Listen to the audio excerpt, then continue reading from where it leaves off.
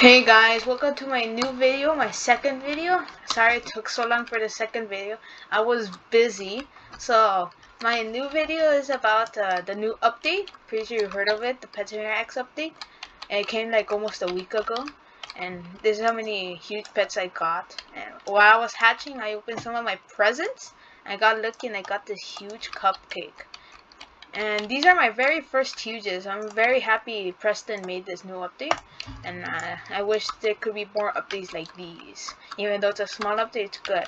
And uh, I recommend using the these these starter golden eggs. I don't really uh, I don't really know if those are of those videos uh, that say use the specific egg uh, if they're true. But I just recommend using the starter eggs. It's more cheaper. I'm pretty sure you already saw the hack that if you're auto hatching you can go to the teleportation if I can do that real quick and scroll the way down. Let's see. And all the way to uh, to the pixel world and the giant chest. Let's see. There. I made it. Let's see if it's still hatching. Yep.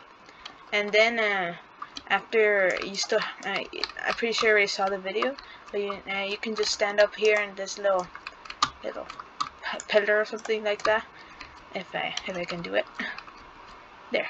And then you can just auto farm some rainbow co coins. Got my auto clicker on so I'm just gonna I, I could just do that real quick.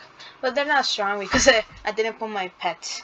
Well thank you for seeing this video and I'll see you in the next one. Goodbye